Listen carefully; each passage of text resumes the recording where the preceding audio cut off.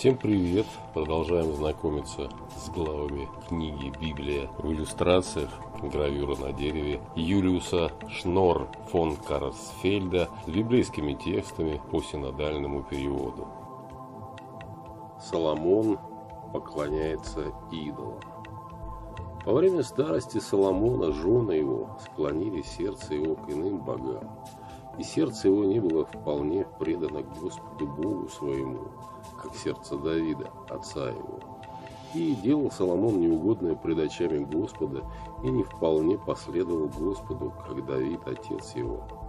И разгневался Господь на Соломона за то, что он уклонил сердце свое от Господа Бога Израилева, который два раза являлся ему и заповедовал ему, чтобы он не следовал иным богам.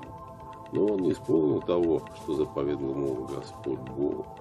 И сказал Господь Соломону, за то, что так у тебя делается, и ты не сохранил завета моего и уставов моих, которые я заповедовал тебе.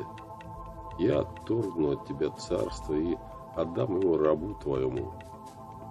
Но в дни твои я не сделаю всего ради Давида, отца твоего, из руки сына твоего исторгну его.